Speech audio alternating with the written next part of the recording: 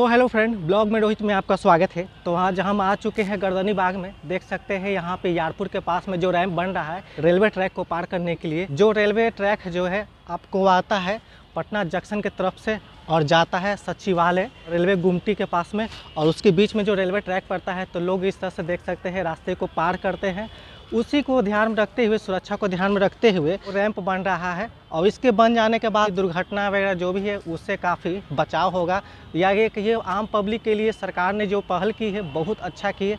इसके बाद से है ना लोगों को आने जाने में कोई रुकावट नहीं होगी। पहले ये था रेलवे ट्रैक अभी है गाड़ी यहाँ पे खड़ा है। तो ये काफ़ी जोखिम भरा है लोग आ रहे हैं जा, जाना ज़रूरी है काम पे भी रेलवे के डब्बा के नीचे से होकर लोग जा रहे हैं।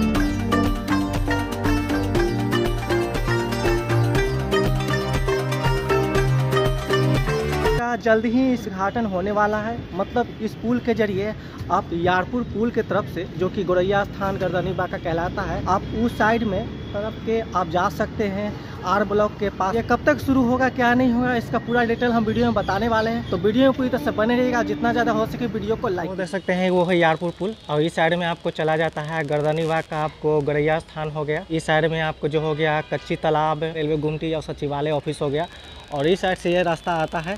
और यहाँ से देख सकते इस तरह से काम लगा हुआ है। ये बहुत सारे यहाँ वर्कर्स यहाँ लगे हुए हैं काम पे। तो मैं रैम्प के ऊपर से दिखा रहा हूँ कि कितना कुछ काम हो पाया है। आप लोग वीडियो को कृपया लाइक ज़रूर कर दीजिएगा। क्योंकि दिखाने में बहुत कुछ है ना, पापड़ बेलने पड़ते हैं भाई कि हमको नज़दीक से दिखाना है, अपने व्यूअर्स को अच्छे से मतलब बताना है। तो उसके लिए काफ़ी कुछ मिन्नतें भी करनी पड़ती है कभी कभी इस तरह से देख सकते हैं, नीचे से आया हूँ, इतना ऊंचाई से और ऊपर आया गया हूँ। बगल में देख सकते हैं रेलवे ट्रैक है उस साइड में देख सकते हैं लोग जा रहे हैं। तो ये जो पैदल है ना रेलवे ट्रैक के से क्रॉस करके जाते हैं तो उसी से बचने के रेलवे पायदान बनाया जा रहा है। अब इसके ऊपर मैं नहीं जा सकता हूँ, क्योंकि ज़्यादा ऊपर जाके बनाना सही नहीं है, कुछ वर्कर लोग काम कर रहे हैं।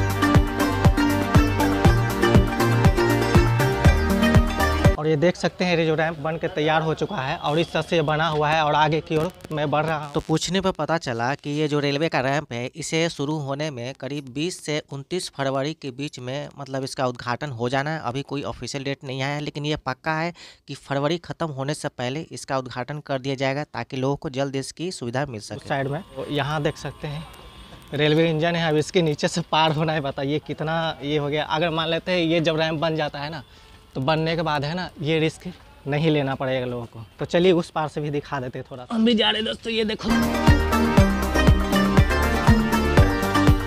सर में चोट लग गया। खैर ये लगा रहता है। अब ये देखिए अब इस तरह से देख रहे हैं ना इस साइड से भी गाड़ी आ सकता है। तो पता नहीं किस तरह से क्या होता है मतलब काफ़ी रिस्क भरा है।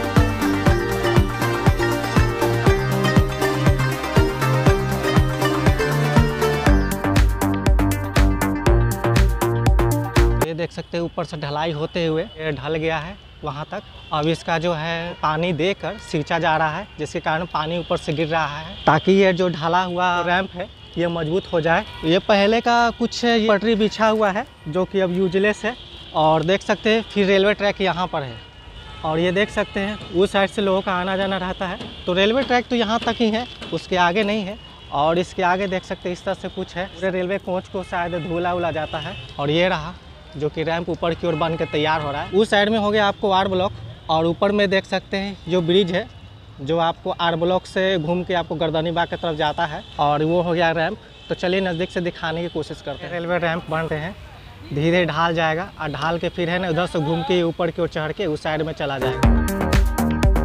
तो दोस्तों यहाँ सुनने में ये भी आया कि कुछ लोग आते हैं वीडियो बनाते हैं। अब वो न्यूज़ वाले हो क्या हो मुझे पता नहीं। है। तो ठीक है सर आप तो बोलते तो हो सही हो लेकिन कुछ पॉजिटिव भी दिखाया करो। कि कुछ अच्छा हो रहा है तो यहाँ पे लोग ऐसा कुछ बोलते हैं कि कुछ लोग आते हैं और कुछ गलत वलत ही बोलते हैं तो हम लोग डर जाते हैं। जो यहाँ पे काम पे लगे हैं, वो ऐसा बता रहे थे। तो देख सकते हैं यहाँ पे बहुत सारा जो भीड़ है, आपको रेलवे ट्रैक के नीचे से ही, रेलवे इंजन जो से लगा हुआ है गाड़ी, इसके नीचे से ही लोग आना जाना कर रहे हैं, देख लीजिए।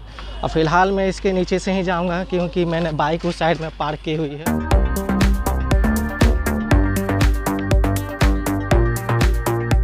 देख सकते हैं, इस तरह से है।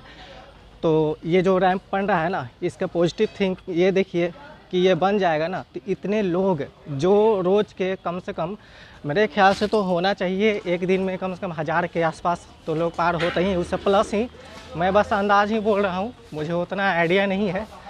तो क्योंकि मैं जैसे जैसे आगे बढ़ रहा हूँ, वैसे वैसे लोगों की संख्या तो बढ़ ही रही है। इस तरह से इतने लोगों को काफ़ी सुविधा मिलेगी। सबसे बड़ा पॉजिटिव इसका न्यूज़ यही है, यहाँ पे जो आम पब्लिक है, जो इतना रिस्क लेते हैं, जो मैंने आपको दिखाया अभी रेलवे इंजन के नीचे से पार होके, क्योंकि और कोई रास्ता है नहीं, क्योंकि यहाँ पे बहुत सारी ट्रेनें आती हैं संट लग जाती हैं। अगर किसी को काम पे जाना हो टाइम पे पहुँचना हो, उनको उस ट्रेन के नीचे से पार होने के सिवा और कोई रास्ता होता ही नहीं है। तो सरकार की बहुत अच्छी पहल है, इसके बारे में आपका क्या कहना है, आप कमेंट करके कृपया ज़रूर बताइएगा। अब मिलते हैं फ्रेंड फिर किसी ऐसे ब्लॉग के साथ, किसी और इंटरेस्टिंग वीडियो के साथ। तब तक के लिए ओके बाय